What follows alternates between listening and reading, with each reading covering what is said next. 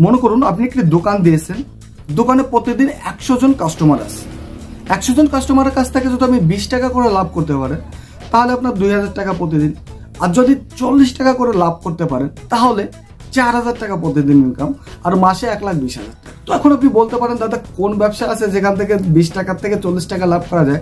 কারণ ব্যবসাটা আমি বলে দিচ্ছি নাইনটি নাইন জুয়েলারির ব্যবসা। হ্যাঁ নাইনটি নাইন জুয়েলারি শপের ব্যবসা। নাইনটি নাইন জুয়েলারি শপ দিয়ে বিশ টাকা, তিরিশ টাকা মানে নিরানব্বই টাকায় বিক্রি করেও বিশ টাকা, চল্লিশ টাকা পার পিসে লাভ করা যায়। কিন্তু কথা হলো, একশো জন কাস্টমার আপনি কোথা থেকে আনবেন? ফ্রেন্ড একশো জন কাস্টমার না, এর থেকে বেশি কাস্টমার অ্যারেঞ্জ করার বা ট্রাফিক জেনারেট করার কিছু ট্রিক্স আছে, যেগুলো এই ভিডিওতে আপনার সাথে শেয়ার করব। আর এই ভিডিওতে আমি সম্পূর্ণরূপে আলোচনা করার চেষ্টা করব, যেন একটা ভিডিও দেখেই আপনি এই লাভটা বা এই ব্যবসাটা শুরু করতে পারেন।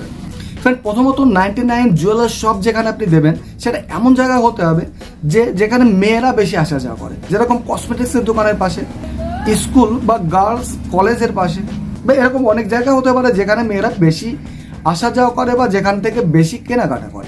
দোকানের সামনে আপনাকে বড় করে সাইনবোর্ড লাগাতে হবে যে এটা নাইনটি নাইন শপ মানে এখানে যে কোনো জিনিস নাইনটি নাইনে পাওয়া যায়। এখন কথা আপনি প্রশ্ন করতে পারেন, দাদা জিনিসটা আমি কোথা থেকে তো ফ্রেন্ড আপনারা যারা একটু নলেজ রাখেন, আপনারা অবশ্যই জানবেন যে এই জুয়েলারি যে জিনিসটা আছে, এখানে প্রায় চারশো, পাঁচশো পার্সেন্ট পর্যন্ত লাভ করা যায়। মানে বিশ টাকার জিনিস একশো টাকা পর্যন্ত বাজারে বিক্রি হয়ে থাকে। এই জিনিসগুলো আপনি কোথা থেকে পাবেন? ফ্রেন্ড আপনি যেখান থেকে আমার ভিডিও দেখুন না কেন হ্যাঁ আপনার পাশে যে কোনো একটি বড় সিটিতে গেলে আপনি এই জুয়েলারি হোলসেল পেয়ে যাবেন। হোলসেলার পেয়ে যাবেন বা এরকম জায়গাও পেয়ে যাবেন যেখানে ম্যানুফ্যাকচারার আছে। মানে তৈরি হচ্ছে আর কি জুয়েলারিটা তো সেটা না পেলেও ক্ষতি নেই। হোলসেলের কাছে গিয়েই আপনি অবাক হয়ে যাবেন যে যে জিনিসটা বাজার থেকে একশো টাকাতে কিনতে হয়, সেটা মাত্র পনেরো টাকা, বিশ টাকায় পাওয়া যায়। কিন্তু ফ্রেন্ড শুধুমাত্র এটা জেনেই আপনি ব্যবসাটা শুরু করতে পারবেন না। কারণ পাবলিক বোকা নয়। মানে আপনি বিশ টাকাতে কোনো একটা জিনিস কিনে নিয়ে আসলেন নাইনটি নাইন লিখে দিলেন, আর লোক এসে কেনা চালু করল। এরকম হবে না বা হয়ও না। তো ফ্রেন্ড আমি এটাও শেখাচ্ছি যে আপনি অল্প টাকা দিয়ে কীভাবে এই ব্যবসাটি শুরু করবেন। তো প্রথমত আপনি যদি অল্প টাকা দিয়ে ব্যবসাটি শুরু করতে চান, তাহলে আপনাকে প্রোডাক্টের রেটিংটা দেখতে হবে। মানে কোন প্রোডাক্টটা সব থেকে বেশি বাজারে বিক্রি হচ্ছে সেটাকে আপনাকে জাজ করতে হবে। আপনি যদি আপনার পছন্দ মতো জিনিস এনে দোকান ভরে রাখেন তাহলে আপনাকেই ভরতে হবে, লোকে কিনবে না। তো সেই রেটিংটা দেখার জন্য আপনি এটা করতে পারেন যে, বড় কসমেটিক্সের দোকানগুলো আছে, সেখানে গিয়ে যাচাই করতে পারেন কোন জিনিসটা বেশি চলছে, সেটা আপনি উঠাতে পারেন। এর থেকে ভালো সুবিধা আছে, আপনি অ্যামাজন ফ্লিপকার্ট আপনি যদি ইন্ডিয়া থেকে দেখে থাকেন অ্যামাজন বা ফ্লিপকার্টে যে প্রোডাক্ট রেটিংটা দেখুন যে প্রোডাক্টের রেটিংটা সব থেকে বেশি আছে, সেই প্রোডাক্টটা ওঠাবেন। যেটা কম আছে, সেটা ছেড়ে দেবেন। আপনি যদি বাংলাদেশ থেকে দেখেন, তাহলে Daraz dot com BD dot com Alibaba dot com থেকেও কিন্তু এই রেটিংটা নিতে পারেন। এখন কথা হচ্ছে ফ্রেন্ড আপনি প্রোডাক্টও চুজ করে নিলেন, আপনি একটা বোর্ডও লাগিয়ে দিলেন, কিন্তু দোকানটা কি চলবে কি চলবে না, এর জন্য একটা পাবলিসিটিরও দরকার আছে। সেজন্য আপনাকে আপনি যদি টাকা ব্যয় করে মানে পোস্টারিং করতে চান ইনস্টাগ্রাম ফেসবুকে যদি অ্যাড চালাতে চান, বা অন্য মাধ্যম আছে যেটা দিয়ে আপনি দোকানটা খুব তাড়াতাড়ি মনে করেন যে ট্রাফিক অ্যারেঞ্জ করতে চান, সেটা কিন্তু একটু কস্ট সেখানে একটা কস্টের ব্যাপার আছে মানে অনেক খরচার ব্যাপার আছে। এছাড়াও আপনি আপনার পাবলিসিটিটা বাড়াতে পারবেন, যে টেক্সটটা আমি আপনাকে বলছি।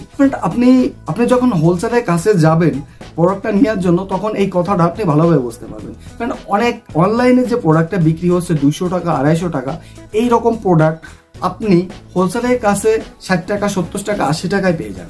তো প্রথম পর্যায়ে আপনি যদি শুধুমাত্র লাভের মুনাফার দিকে ছোটেন তাহলে কিন্তু আপনি ট্রাফিকটা জেনারেট করতে পারবেন না। মানে আমি যেটা বলেছি, একশো জন কাস্টমার একশো জনের কাস্টমারের থেকে বেশি আনতে পারবেন, যে ট্রিক্সটা অ্যাপ্লাই করে, সেটা হলো প্রথম পর্যায়ে আপনি লাভটা কম রাখুন। মানে আপনার যে টাকাটা আপনি ইনভেস্ট করছেন বা আপনার যে সময়টা ইনভেস্ট করছেন, সেটা ছয় মাস পর্যন্ত আপনি স্থগিত করে রাখেন। মনে করেন যে ছয় মাসের ভিতর পর্যন্ত আমি কোনো টাকা ইনকাম করব না, আমি শুধুমাত্র ট্রাফিক জেনারেট করব। আর দোকানটা, দোকানটাকে লাখ টাকা ইনকাম করার মতো একটা দোকানে পরিণত করব। তো প্রথম পর্যায়ে আপনি সেই কোয়ালিটির মালগুলো আনবেন যেটা নব্বই আশি টাকা, নব্বই টাকা বা সত্তর টাকায় কিনে আপনি নাইনটি নাইনে বিক্রি করবেন। আপনি যদি চান যে দশ টাকার জিনিস কিনে নাইনটি নাইন লিখে নাইনটি নাইনে বিক্রি করব, দোকানটা কিন্তু চালাতে পারবেন না। এরপরে আপনি যে পাবলিসিটির কথাটা বলছেন সেটা আপনি কীভাবে করবেন? ফ্রেন্ড আমি সিম্পলি বলেছি যে জিনিসটা পঞ্চাশ টাকা দিয়ে আপনি হোলসেল থেকে কিনতে পারবেন না। আপনি অনলাইনে সার্চ করে দেখবেন, সেটা দুশো, আড়াইশো টাকা দামে বিক্রি হচ্ছে। তো যখনই আপনাদের কাস্টমার আসবে, তখন তাকে আপনি অনলাইনে রেটটা দেখাতে পারেন। যে, এ দেখুন, এটা অনলাইনে আড়াইশো টাকা বিক্রি হচ্ছে, আমি এখানে নাইনটি নাইনে দিচ্ছি। এরপরও আপনি একটা অফার দিতে পারবেন যে, এইখান থেকে যদি কেউ পাঁচটা প্রোডাক্ট বা দশটা প্রোডাক্ট কেনে, তাকে প্রোডাক্ট আমি গিফট করছি। অবশ্যই আপনি নেটে গিয়ে প্রথমত দেখে নেবেন কতগুলো প্রোডাক্ট আছে। সেটা আপনি একশো টাকার ভিতরে পাবেন। এরকম কোন একটা প্রোডাক্ট চুজ করবেন বা এরকম কোন ট্রে সেট গিফট হিসেবে, ছোট বা বড়, পাঁচটা প্রোডাক্ট কিনলে এই প্রোডাক্টটা ফ্রিতে দেবে, দশটা প্রোডাক্ট কিনলে এই প্রোডাক্টটা ফ্রিতে দেওয়া হবে। তো ফ্রেন্ড আপনি যদি এরকম ফ্যাসিলিটি দেন, যেখানে আমি বলেছি যে চারশো পার্সেন্ট পাঁচশো পার্সেন্ট লাভ থাকে জুয়েলারিতে যে প্রোডাক্টটা দোকানদার আশি টাকা দিয়ে কেনে, সেটা মোটামুটি দুশো আড়াই, আড়াইশো, তিনশো টাকার নিচে বিক্রি করে না। সেটাই আপনি নাইনটি নাইনে দিচ্ছেন, উপরে অফার দিচ্ছেন যে দশটা প্রোডাক্ট আমি এই গিফটটা দেবো। তাহলে সেই ক্ষেত্রে আপনার কাছ থেকে কিনবে, এটাই স্বাভাবিক। আর সাথে আরও দুই, চার পাঁচজনকে নিয়ে আসবে, এটাও স্বাভাবিক। সাধারণত মানুষ রোড সাইডে তো পাওয়া যায় জুয়েলারি জিনিসগুলো, কিন্তু সেখান থেকে কিনতে একটু দ্বিধাদ্বন্দ্ব বোধ করে। আর যদি বড় দোকানের কথা বলা হয়, ওই প্রোডাক্টটা বড় দোকানে ডবল দামে বিক্রি করা হয়। তো এখানে না দ্বিধাদ্বন্দ্ব আছে, না রেটের কোনো ঝামেলা আছে, দামাদামেরও কোনো ব্যাপার নাই। তো সেক্ষেত্রে নাইনটি নাইনের দোকান যেখানেই টেস্ট না ইউজ করলে অনেক বেশি চলে। কিন্তু আমি যে টেস্টগুলোর কথা বলছি, এগুলো যদি আপনি এগুলো যদি আপনি অ্যাপ্লাই করেন, তাহলে অনেক বেশি চলবে। আর একশো জন নয়, আপনি হাজার কাস্টমার দিনে অ্যাসেপ্ট করতে পারবেন। এরকম যদি বড় সিটিতে খোলেন আর কি, তাহলে কোনো বড় ব্যাপার হবে না।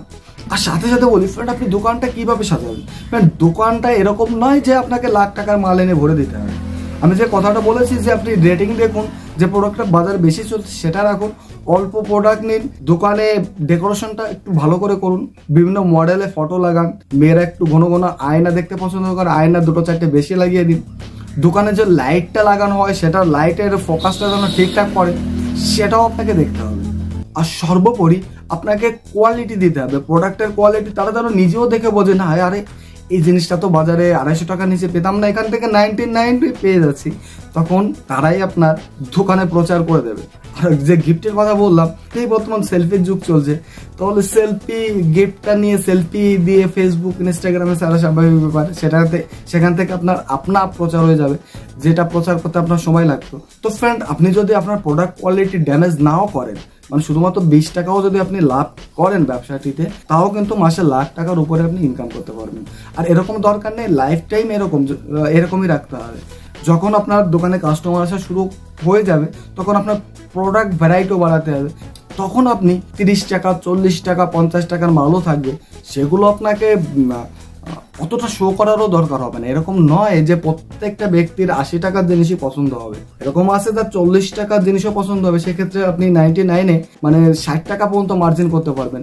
তো ফ্রেন্ড এই ব্যবসাটি না খুবই সুন্দর একটি ব্যবসা। মানে এই ব্যবসাটির উপরে আমি অনেক রিসার্চ করেছি, অনেক রিসার্চ করে দেখেছি হোলসেলের দোকানে গিয়ে। রিটেলারের দোকানে গিয়ে অনেক দোকান আমি ভিজিট করেছি নিজে। তো আপনি যদি আমার এই ট্রিকগুলো একটু অ্যাপ্লাই করেন, তাহলে ব্যবসা লজ্জার সম্ভাবনা তো নাই। আর যত ভালোভাবে ফলো করতে পারবেন, তত দ্রুত আপনি উন্নতি লাভ করতে পারবেন। এছাড়াও ফ্রেন্ড আপনি যদি শিখতে চান যে আমাকে এই ব্যবসাটি শিখতে হবে, তাহলে অবশ্যই কোনো জুয়েলার্সের দোকানে যে ভর্তি হয়ে যান ছয় মাসের জন্য, কোনো কসমেটিক্সের দোকানে যে ভর্তি হয়ে যান, সেখানে গিয়ে আপনি বেতনের লাভের দরকার নাই। ব্যবসাটা আপনি ভালোভাবে শিখে আসুন। আসলে না শিখে তো কিছু করা যায় না। তো শিখে এসে ব্যবসাটি শুরু করেন। এই ব্যবসা প্রচুর পরিমাণে লাভ আছে। তো ফ্রেন্ড এই ব্যবসা সম্পর্কে আরও যদি কিছু জানতে চান, তো অবশ্যই কমেন্টস করবেন, আমি রিপ্লাই করব। আর আমার ভিডিও দেখে যদি আপনি এই কসমেটিক্সের দোকানটা খুলে থাকেন, তো অবশ্যই সেলফি নিয়ে আমাকে অবশ্যই পাঠাবেন। আর আপনার যদি আমার ভিডিও ভালো লাগে, তো অবশ্যই আপনার ফ্রেন্ডের সাথে শেয়ার করবেন। তো সর্বোপরি ফ্রেন্ড ভিডিওটি শেষ পর্যন্ত দেখার জন্য আপনাকে অসংখ্য ধন্যবাদ। দেখাবে পরবর্তী ভিডিওতে ভালো থাকবেন। নমস্কার।